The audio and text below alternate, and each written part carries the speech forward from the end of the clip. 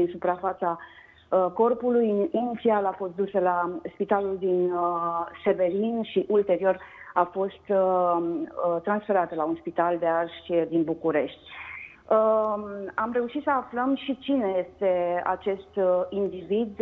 A fost căutat toată noaptea a fost o adevărată desfășurare de forță în uh, județul uh, Mehedinți pentru prinderea acestui bărbat, pentru că polițiștii au conștientizat imediat că vorbim despre un criminal feroce, un bărbat care a fost condamnat la detenție pe viață, dar uh, anul trecut, în luna mai, a fost eliberat condiționat.